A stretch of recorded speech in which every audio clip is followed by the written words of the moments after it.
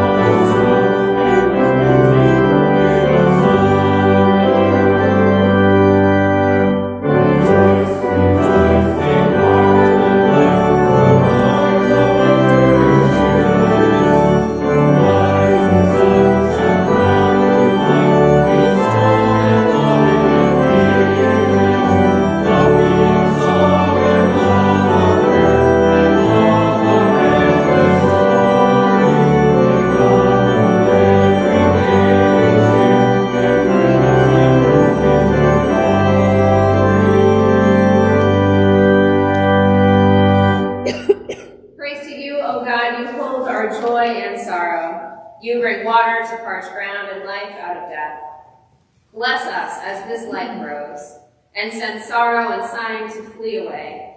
Give us strength and patience, trusting that you are true to your promises. Transform the lives of all who suffer with your wonders near at hand.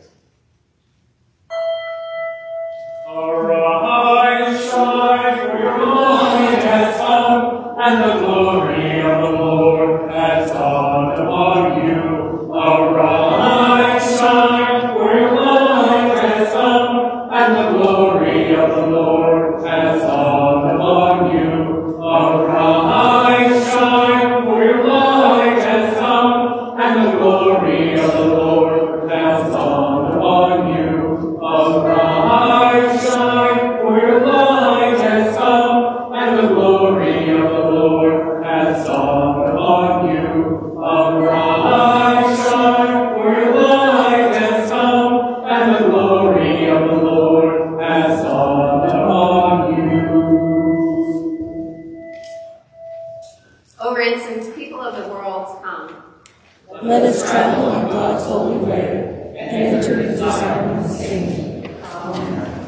Lord be with you. And also with you. Let us pray.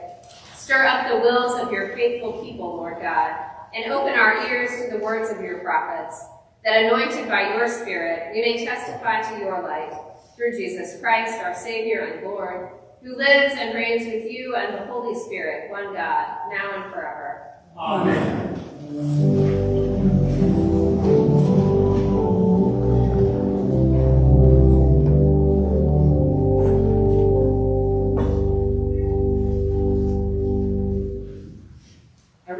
prophet Isaiah. The Spirit of the Lord God is upon me, because the Lord, has anointed me. The Lord has sent me to bring good news to the oppressed, to bind up the brokenhearted, to proclaim liberty to the captives and release to the prisoners, to proclaim the year of the Lord's favor and the day of vengeance of our God, to comfort all who mourn, to provide for those who mourn in Zion, to give them a garland instead of ashes, the oil of gladness instead of mourning, the mantle of praise instead of a faint spirit. They will be called oaks of righteousness, the planting of the Lord, to display the glory of the Lord. They shall build up the ancient ruins. They shall raise up the former devastations. They shall repair the ruined cities, the devastations of many generations. For I, the Lord, love justice. I hate robbery and wrongdoing. I will faithfully give them their recompense, and I will make an everlasting covenant with them. Their descendants shall be known among the nations, and their offspring among the peoples. All who see them shall acknowledge that they are a people whom the Lord has blessed. I will greatly rejoice in the Lord. My whole being shall exult in my God.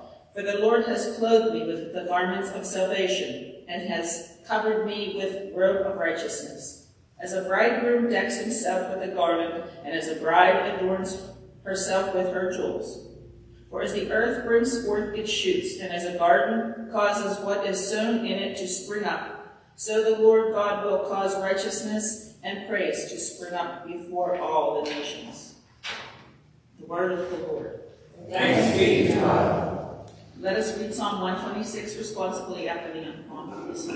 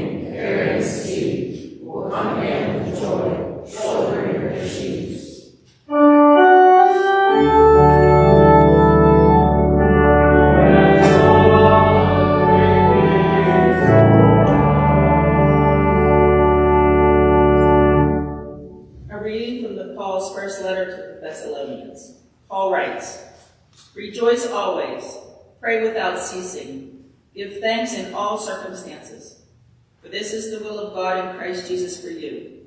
Do not quench the spirit, do not despise prophecies, but test everything. Hold fast to what is good, abstain from every form of evil. May that very God of peace sanctify you entirely, and may your spirit and soul and body be kept sound and blameless at the coming of our Lord Jesus Christ. The one who calls you is faithful and will do this. The word of the Lord. Thanks be to God. Alleluia,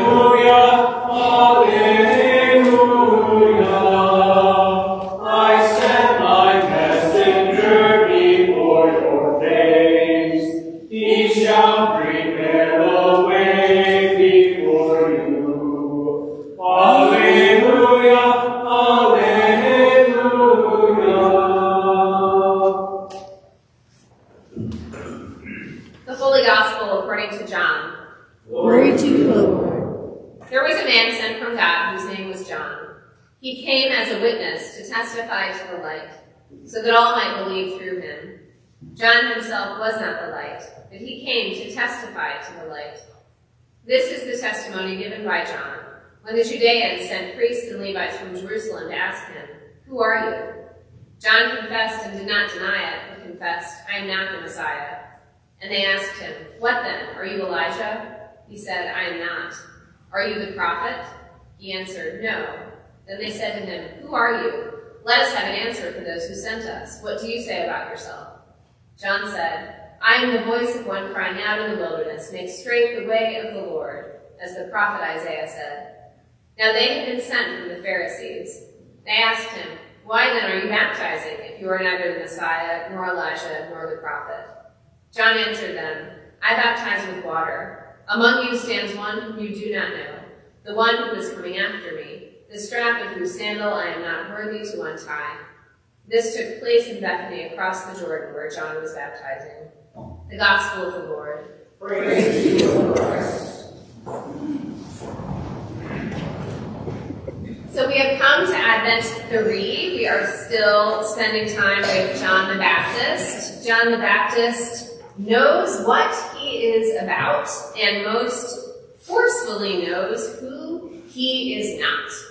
John the Baptist comes and he doesn't initially fit in with any of the categories that the people who are coming to him understand. They think he should be one of these others. And he says, no, I am not, I am not, I am not.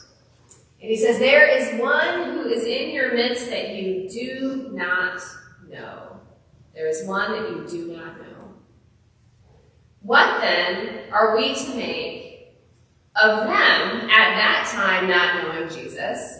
And now we know Jesus. We know that he will be born at Christmas. We know he is among us. We know that there is not one thing we can do to make it happen any more quickly or any more slowly. Advent never seems to be long enough. What are we to do in these days? God will do God's thing. We will do our thing. So what is our thing? In our epistle text, we have some instructions. We are told, rejoice. Rejoice and pray and be thankful. This feels a little tricky sometimes, though. Maybe it feels like perhaps it's not hard enough. We see so much in our world that demands action. What difference could our interior processes possibly make? What is there to be positive about, really? This question reminds me of an experience I had on my yoga retreat that I took as part of my sabbatical. And it was my first trip, and I left the Tuesday after the Sunday that had been my last Sunday. So I was really still very much in this prepare and hurry and get things done kind of mode. It was a little bit like getting there at the end of one of those moving airport walkways where your body just takes a second to recalibrate because you think you're moving and actually you're not. And most specifically, one of the things that I was hesitant about coming into that space was a sort of mandatory cheer that American yoga culture often seems to bring with it. It is not actually that unlike that kind of corporate holiday season. In a yoga class, you are praised for taking time for yourself. You are told good vibes only. What about my angry vibes? what about my annoyed and tired and negative? What about all of those? What about uneasiness? What about the apparent collapse of hope for international peace? What about another instance of senseless violence or cancer or hate crimes? How can we possibly focus on what is positive? So by day three of my time there, I had mellowed a little, and as often does when we pause long enough to listen, there was this kind of question that popped up in the back of my mind. All right, you could be frustrated at things that seem overly sentimental, but how does your outrage help anyone who is suffering anywhere? How do your unsettled feelings help struggle in relationships or in the world? And that bottom line, kind of harsh question, who is served by your inner turmoil? No one. No one is served by that. And today, on this third Sunday of Advent, we have our pink candle. We're told, rejoice, pray without ceasing, give thanks in all circumstances. And I think the correlative invitation is to question all of the things that make it impossible for us to do that. Softly question that anxiety and fear and turmoil. In the same way that love is the only thing that can overcome hatred, trying to force yourself into feeling anything will only backfire. Instead, we're invited in our epistle, I think, to turn toward something new with gentleness, acknowledging the reality of the feelings that are already there, all of that fear and anger and unsettledness. You're not trying to correct your feelings by force. I think the invitation that our faith offers is to ask God to come with us into those places. That, after all, is the whole point of Christmas. That Jesus Christ, as a child, is born, that God is born into all of those places of fear and anger. Listen to this. This is from Augustine, who was one of Luther's kind of big theological talking partners. He wrote in the year 395 in North Africa. This is what he says about praying without ceasing, another one of those things in this list that seems like kind of a tall order. He says, Your desire itself is your prayer. And if your desire is continuous, so is your prayer. It was not without reason that the apostle said, Pray without ceasing. We cannot be constantly genuflecting or prostrating ourselves or lifting our hands, can we? It is not with reference to such actions as these that we can speak of praying without ceasing. There is, however, another prayer that is really ceaseless. It is interior and consists in desire. If you do not wish to leave of praying, then do not leave off desiring praying all of the time doesn't have to look like being in this building or having our hands folded quietly. Do not leave off desiring. Imagine prayer not just as a technical recitation of creeds or a wish list of things that we hope to happen. For what should we pray? How do we do this work of desiring God's reality? How do we want what God wants? How do we, as Augustine would have put it, how do we get our desires in order? Well, listen, listen to this thing that the prophet Isaiah said. It may sound familiar from somewhere. The Lord has sent me to bring good news to the oppressed, to bind up the brokenhearted, to proclaim liberty to the captives, and so on. We heard that whole section from the prophet Isaiah in our Hebrew Scriptures Old Testament reading this morning. Well, you may have heard it somewhere else as well, because that is exactly what Jesus said when he began his ministry in the Gospel of Luke. His first, his first public proclamation in the Gospel, he stands up in the synagogue and he reads this exact text from Isaiah. This text that John the Baptist also quotes and says, Today this is fulfilled in your hearing. This has happened. In Christ, good news for the oppressed. In Christ is liberty to captives, comfort for the mourning, the strength of praise instead of weakness. These are the things we are called to want. This is what we are called to pray for. Now, as Christians, there is certainly some paradox, right, of praying for one who is to come, who has come, who will come again.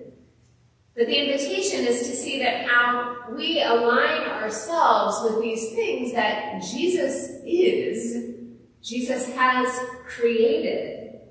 We are called, in this sense, to align our life, the things that we want, the things that we think about, into God's agenda rather than just our own. And one of the ways we do that is to interrogate a little bit, interrogate those things that bring us away from these desires.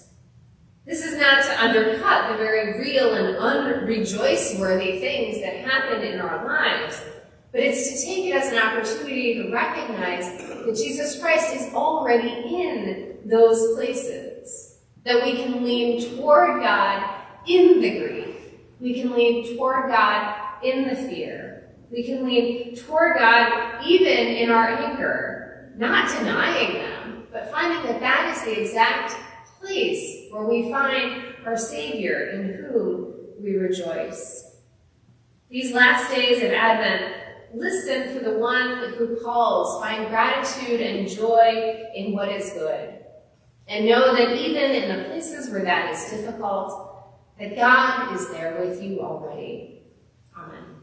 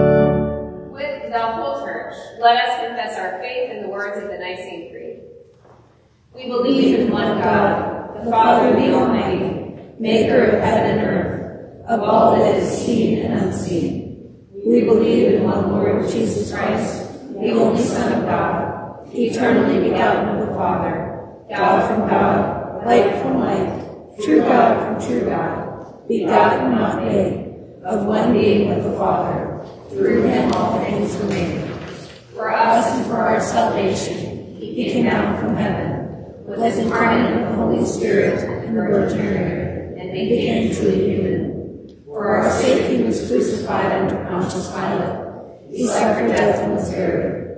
On the third day he rose again, in accordance with the Scriptures. He ascended into heaven and is seated at the right hand of the Father. He will come again in glory to judge the living and the dead, and his kingdom will have no end. The Holy Spirit, the Lord, the giver of life, who proceeds from the Father and the Son, who with the Father and the Son is worshipped and glorified, who has spoken through the prophets. We believe in one holy Catholic and Apostolic Church. We acknowledge one baptism for the forgiveness of sins. We look for the resurrection of the dead and the life of the world to come. Amen.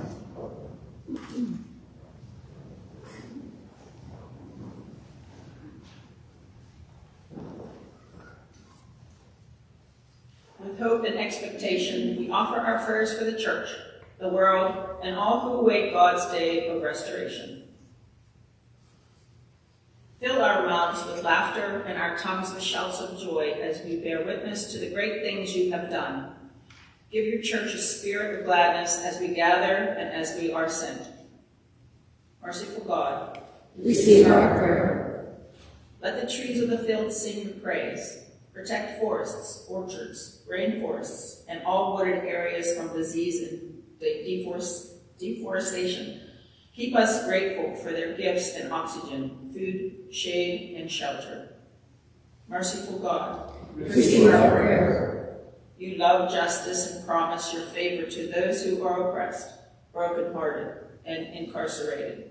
Grant wisdom and compassion to those who work for public safety and all who work within prisons, jails, and courts, that mercy may increase and violence wither away. Merciful God, Receive our prayer. give us strength to pray for our world without ceasing and provoke us toward love and good deeds for all who are in need.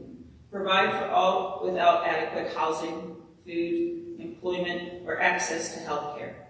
Empower us as helpers and advocates.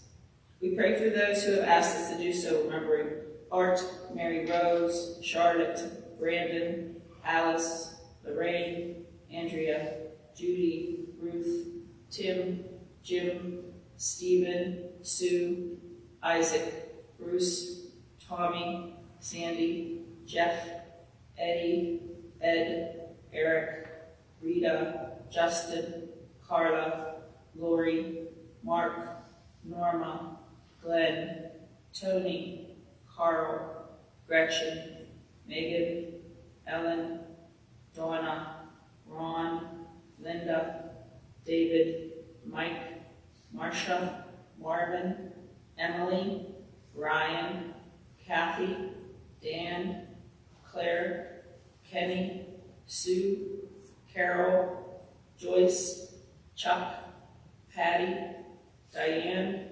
Gretchen, Hank, Anna, Pastor Keith, and Pastor Janet, Margaret and Robert, Jeanette and Bruce, Renee and Greg, Paula and Dave, Lynn and her family, Baby Greenlee and her parents, Riley and her family, those who travel, those who serve in the military, and all those who seek the comfort of God's love, who we name now either silently or aloud.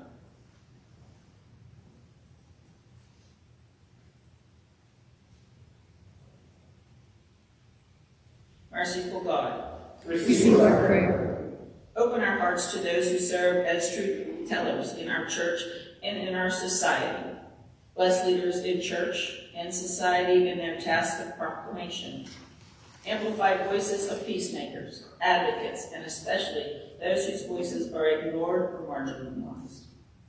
Merciful God, Receive our prayer. With gratitude we rejoice in the saints who witnessed in your life in all circumstances, in whom your spirit was not quenched, even in death. Through them, teach us always to hold fast to what is good.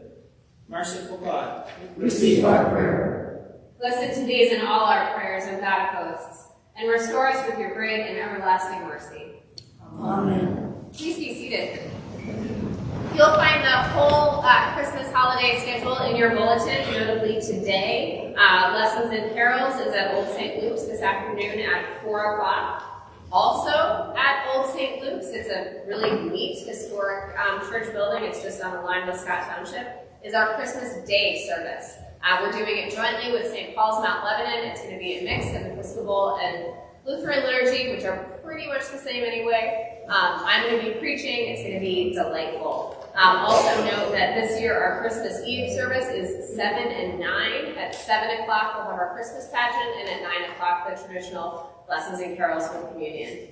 Please um, sign up to be a prayer cow for uh, next year. There's a box, and the forms are right here in the side narthex. Those names won't be chosen until January. So for now, just write your name um, and your information on the sheet and put it in the box. Every um, if you need it to be brought to your seat, we will absolutely do that as well. Everyone who's baptized from any tradition is welcome to receive.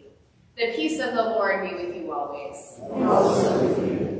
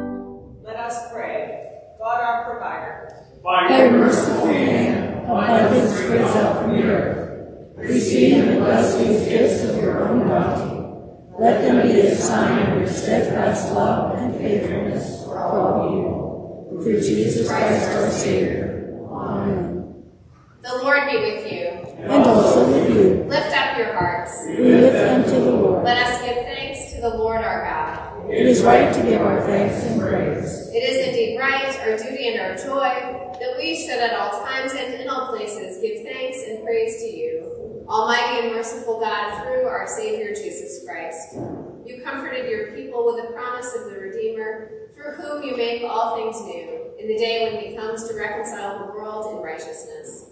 And so with all the choirs of angels, with the church on earth and the hosts of heaven, we praise your name and join their unending hymn.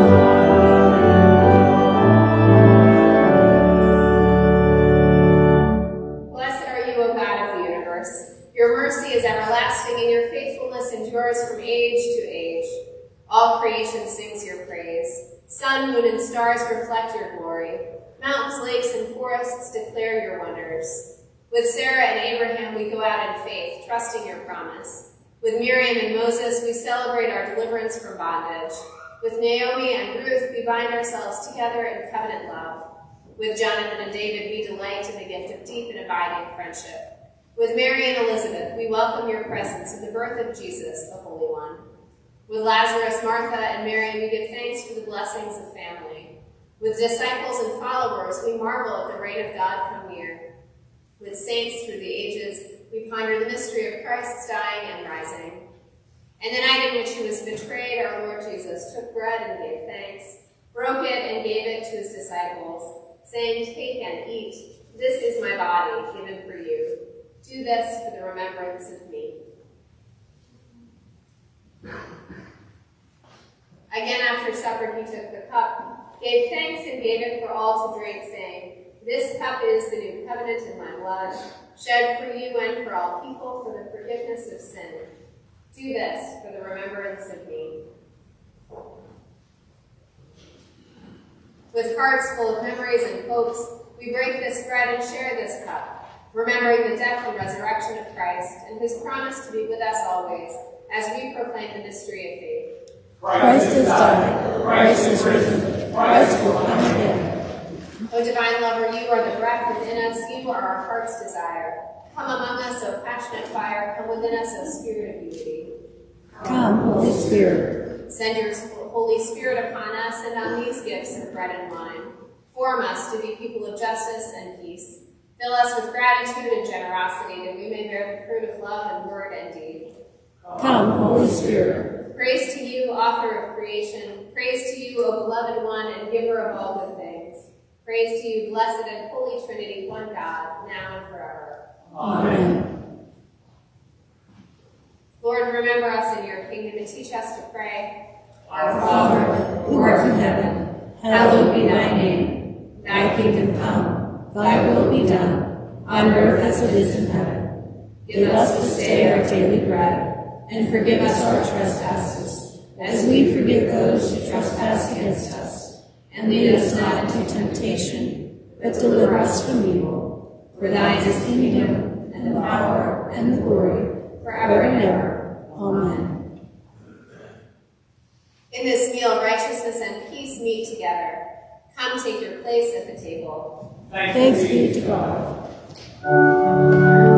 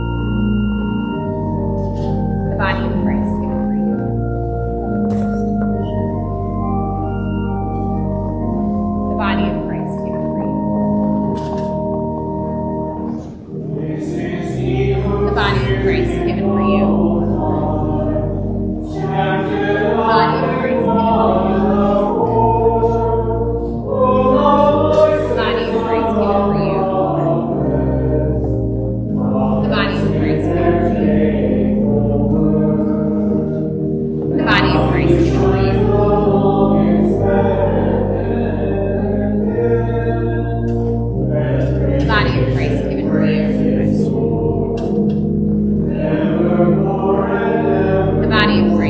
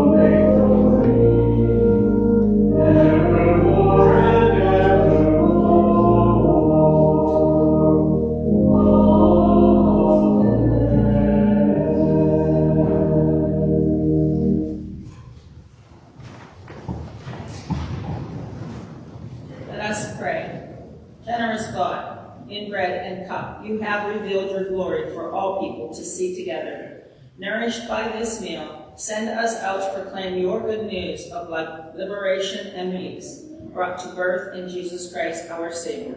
Amen. The God of peace bless you, the love of Christ sustain you in hope, and the anointing of the Holy Spirit remain upon you now and forever. Amen.